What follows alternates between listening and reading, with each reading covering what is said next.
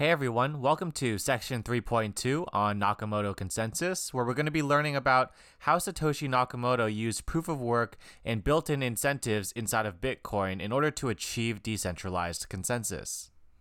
So, our model of decentralized consensus from the last lecture had each node receiving one vote, meaning each of our nodes had a 25% chance of being picked as the temporary authority node during each round and getting to propose the next block for everyone to include. But there's a big problem with having each node having an equal chance of getting picked by the spinner. Our scheming friend Mallory could set up a node uh, with a different IP address somewhere else in the world, uh, could set up another node somewhere else in the world with a new IP address, and set up a fourth node somewhere in the world with a different IP address as well. Now you'll see that we have a pretty big problem here. Mallory and all of her fake spun up nodes have a better chance of getting picked than all of the other honest participants combined. So now if Mallory wants to execute that double spend attack, wants to censor users or avert history, she can definitely pull it off. And these fake nodes that Mallory has created are called Sybils. Sybils are just forged identities in a peer to peer network used to subvert some system. And through the magic of things like VPNs, you can spoof your IP address, spoof where you are, hide your identity. And on the internet, in a peer to peer network, there's no way to know if you're a Sybil node or if you're an actual new person trying to connect to the network. And one of Satoshi Nakamoto's big innovations in the Bitcoin white paper released in 2008 was that rather than giving each node one vote in the system or giving them an equal chance of getting picked, uh, which could easily be gamed by a Sybil attack, he proposed the idea of having one computation, one vote, or one CPU, one vote, uh, or more specifically, one unit of computational power, one vote. So in our spinner representation, rather than giving each node an equal chance of being picked as the next authority or leader, if we weight it based off of computational power, if Mallory, Bob, Jing, and Alice each have the same amount of computational power, suddenly it's no longer unfair. It doesn't matter how many Sybil nodes Mallory spins up, she will only have a finite amount of computational power. And so rather than needing an honest majority of nodes, which obviously could be attacked with the Sybil attack, we need an honest majority of computing power, which we hope lies distributed in the hands of many. So great, now we're selecting leaders in proportion to how much computational power they have. So if one user has one third of the total computational power, they'll have a one third chance of getting picked each round. But how do we measure computational power in a way that can't be spoofed, like in the Sybil attack? And how do we make these rounds fair? Every round, we have a puzzle, and everyone runs their computers maxed out to their fullest to try to solve this puzzle the better your hardware is and the more you max that hardware out to do the most computations per second, the better chance you have of solving the puzzle. Now, whoever solves the puzzle first, in this case Alice, then gets to be the temporary authority node and propose the next block for everyone to include. Now, once that next block has been proposed, there is a new puzzle for everyone to solve. Everyone runs their computers to the max, doing all these computations, and Jing comes out on top, solving the puzzle first. And of course, Jing gets to be the second round authority node and propose the next block. And this process is called proof of work. The proof is the solved puzzle, which is easy to verify. And the work is all of this computational work that had to go into solving this puzzle. So by submitting this solved puzzle, you've proved that you've used a sufficient amount of computational power.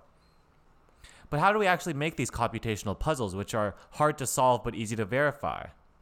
We actually only need cryptographic hash functions to create what are called hash puzzles. If you'll remember from section 1.1 where we covered hash functions, a hash function is just a function where you can have any input, let's say a picture of a dog, and you'll have a fixed size output, usually 256 bits in length. And one property of hash functions is that they're pseudo random. So if we're hashing something for the first time, we have no idea what it's going to be. It's like rolling a dice. We don't know if the output to the hash is going to be large or small, if the first number is going to be a 1 or a 7, or if we're using hexadecimal, uh, an A or a F. So if you need a quick refresher on the pseudo-randomness of hash functions and collision resistance of hash functions, uh, please check out Karl's lecture, section 1.1. It's a great overview of how hash functions work. Uh, but back to proof of work. From last lecture, the way that we compute a block hash is we hash all of the transactions of a block, together with the previous block hash, uh, which in this case is the zero hash because this is the first block. And that gave us our chain of blocks. But what we're going to add is a third input, which we're going to call a nonce, which is really just this nonsense number. So we'll run some operations on our computer to compute this hash, and we'll get the output, which is 3827. Uh, this is the block hash. Now, what we'll see though is if we increment the nonce and we recompute the block hash, it's like rolling a die. We have no idea if this is going to be a larger block hash or a smaller block hash. Uh, we're generating a new pseudo random number. And so now we get this new hash, 30EB. And if we increment the nonce again to be 2 uh, and recompute the block hash, we're basically rolling the dice again, and we'll get this new block hash, 90D84. So you'll see that every time we increment the nonce and we recalculate this hash, we're getting this random 256 bit block hash afterwards. So if we think of a coin flip and we say heads is 0 and tails is 1, we could think of this process of incrementing the nonce and recomputing this random 256 bit output as if we're flipping this quarter 256 times, and every time we get heads, we write a 0, and every time we get tails, we write a 1. Now remember that every time we compute a hash, it requires some computational power. It would probably take a lot of hashes for you to, say, flip a certain number of heads in a row at the very start. What if I said that the first 30 of your 256 coin flips have to be heads? This is how we make a difficult puzzle that's easy to verify but hard to compute. In practice, this is the equivalent of saying, hey, your block hash has to be less than some target number. So, for example, this could be your target number. Now, this might look very intimidating, but all it is is saying because each hex number is four bits and we need six hex zeros in a row, it's the equivalent of saying, all right, we're flipping a coin 256 times. The first six times four, so 24 coin flips, have to be heads. And the average number of hashes that's required to find 24 head flips in a row is 16.8 million hashes. Now that's a big number, but you know, computers nowadays are super fast, so what if that's too easy? Well, one of the nice things about these hash puzzles is that it's very easy to adjust the difficulty of them. All we have to do is take this f and make it a little smaller, say turn it into a 0, and now we have a smaller target. So we require the block hash to have seven leading hex zeros, which is the equivalent of 28 head flips in a row. So the average number of random hashes that you'll need to compute until you find a block hash that has 28 leading zero bits is around 268 million. So if we find that that's too hard of a puzzle and it's taking too long for people to solve it, we can just make the target larger. So let's take these two zeros and turn them into Fs. So now we only need five leading hex zeros, so the equivalent of 20 head flips in a row. Now, this will only take an average of 1 million random hashes until you find a block hash that has 20 leading zero bits. So here we have a representation of our network. We have Bob, Mallory, and Alice all competing to solve the next hash puzzle and propose the next block. And we call this process of expending all this computing power to compute all these hashes and solve this proof of work mining. And this term comes from an analogy between doing all of this computational work in order to get lucky and propose the next block, and doing the actual physical work of, say, swinging a pickaxe at a rock over and over again until you get lucky and might find gold. And in our example here, Alice has 50% of the mining hash rate, Bob has 25%, and Mallory has 25% meaning Alice is computing as many hashes per second as Bob and Mallory combined. So we see our computers doing lots of computations, but you know, what exactly is happening behind the scenes? Well, at the start of the network, everyone has agreed that there is no previous block, so the previous block header that they are mining on top of is just the zero hash. And the problem that everyone's computers are trying to solve right now is what nonce can you hash together with the transactions of the first block and the previous block hash in order to get a small block hash that has a certain number of leading zeros. So Alice, who's one of the miners, will first try a nonce of zero. Her computer will compute that hash and will get 782744. Uh, is the block header hash less than the target? Definitely not, there's not enough leading zeros. The block hash is too large. So Alice's mining software will increment the nonce to be one, will recompute that hash and we'll get a new hash, 67E6. And the software will check again is this block header hash less than the target? And of course, it's not. There's not enough leading zeros. And hopefully, you get a feel for what's happening. She's going to increment the nonce again, compute the hash, and eventually, Alice will come across a nonce. In this case, it's 21,078,235 that will get her a hash that is finally less than the target. So now that Alice has solved this hash puzzle, Alice will take her block with all her transactions and will add this block hash, uh, which satisfies the properties of being less than the target, and we'll throw it in a packet along with the winning nonce. And now Alice will start mining on a new second block. Instead of a previous block header hash of this zero hash, she'll update it to the block header hash that she has just found. So she'll add this block to her blockchain and she'll start mining to solve the hash puzzle for the second block. She'll send her block to all of her peers, and Mallory will receive the block. She'll check that the hash of that block's transactions together with the zero hash and the nonce that Alice provided does check out to having enough leading zeros. And now Mallory will update her previous block header hash to be this block hash of Alice's block. And Mallory, too, will start trying to solve the hash puzzle for a second block.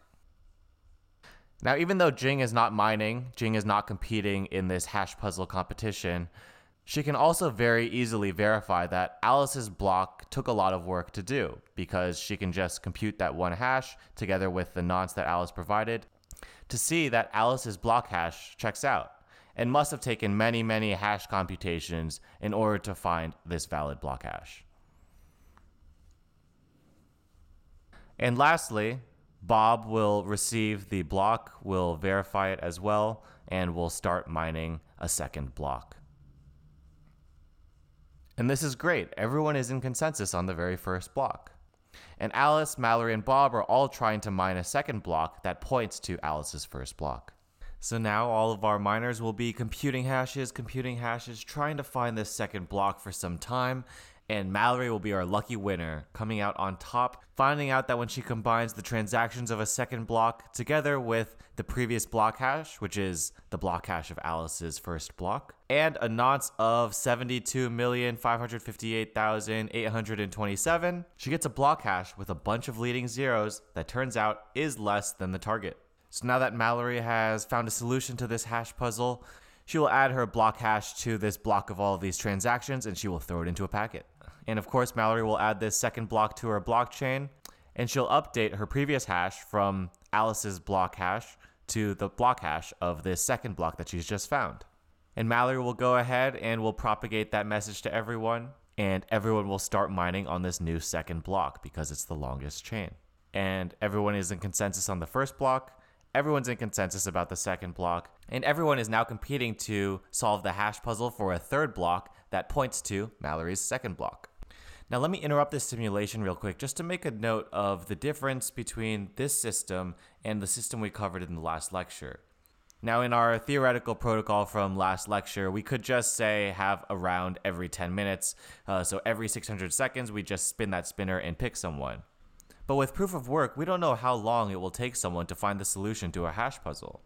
We can approximate it by making the hash puzzle more difficult or less difficult depending on the average times that you're getting, but you don't know exactly how long it's going to be.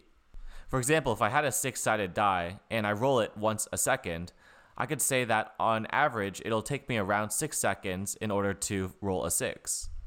Of course, I could get unlucky, it could take me 20 seconds, or I could get lucky and get it on the first try, and it would take just one second. So let's run through one situation that might occur as a result of this. Right now, everyone is trying to solve the proof of work for the third block, and Alice gets lucky and finds a valid block hash. She'll add this third block to her chain, and she'll start mining on top of that block. And she'll add it to a packet and start to propagate it to the network. But Bob happens to get lucky at the very same time, finding a valid block hash for his own third block which he then adds to his blockchain and starts mining on top of. So Bob will also try to propagate his block to all of his peers. And it looks like Mallory receives Alice's block first, so she will verify it, she will add it to her blockchain, and she will start mining on top of Alice's block. Now Jing receives Bob's block first, and Jing will verify that that block hash is valid and will add it to her blockchain. And we'll see that Alice and Mallory have a different history than Bob and Jing and no one was malicious in this case. Bob just happened to find a block before he received Alice's block. And now we've got Mallory and Alice mining on top of Alice's block and Bob mining on top of his own block. So everyone will be computing hashes for some time now, and Alice gets lucky and finds a valid block hash for a fourth block. Now Alice will propagate that block to everyone, and Mallory will verify it and will add it to her blockchain. And Jing will see this block and verify that the block hash is valid. And Jing's Bitcoin node will take a look at all of the blocks that she knows about. And because in Bitcoin, the longest chain is always considered the correct chain, Jing will discard Bob's block and will add both of Alice's blocks. And when Bob receives Alice's block, he will look at these two options and notice that Alice's chain is longer than his chain, and Bob's software will automatically pick the longest chain. In Bitcoin, the fork choice rule, which is how you choose between these two different paths, is to always pick the longest fork. So now everyone is back in consensus. So even though we temporarily fell out of consensus, eventually everyone will agree on history. And as long as a majority of people are acting honestly, these disagreements of history will become less and less frequent as they fall further and further back in time. So now everything's good and everyone has consensus of what the four blocks in everyone's chains are. Now, even though they fell out of consensus briefly, as time goes on, people will start to agree on what the longest chain is. And when we're talking more than five or six blocks back in history, it becomes more and more likely that everyone agrees on those blocks. But there is one piece of the Bitcoin protocol that we haven't touched on yet. Think of all of our miners computing billions and billions of hashes. They had to spend a lot of money on this hardware that can compute hashes really fast. And all this computational work costs a lot of money to pay for the electricity to keep these computers going and to keep them cool. So, why would they fork over all of their hard earned cash to just compute hashes on this network? Well, in every block, there's a special transaction that mints money to whoever the miner chooses. Think of it like a blank check to whoever mines that block. Now, this special transaction is called a block reward. And it's the main reason why people spend millions and millions of dollars on hardware and electricity trying to solve proofs of work on Bitcoin. But in Bitcoin, the block rewards aren't always a constant amount. Around every four years, the amount of Bitcoin in the block reward gets cut in half, which is how the system ensures that there's a capped supply of Bitcoin. Now, going back to our mining analogy, you can think of this block reward halving as it getting harder and harder to find gold until you've found it all. So we have this awesome block reward that's incentivizing our miners, but but what incentivizes our miners to include any transactions at all other than this block reward? Well, let's say we have this transaction from Jing sending $100 to Bob, Jing could instead just send Bob $99 and will give that extra dollar to whichever miner includes that transaction in their block. Now, this is called a transaction fee. Most miners will just fill their block up with the transactions that pay the most fees. And this is partly what helps Bitcoin maintain this censorship resistant property. Even if most miners decide that they don't want to include any transactions to or from some person that they don't like, all it takes is one miner to defect and include those transactions and profit off of those fees.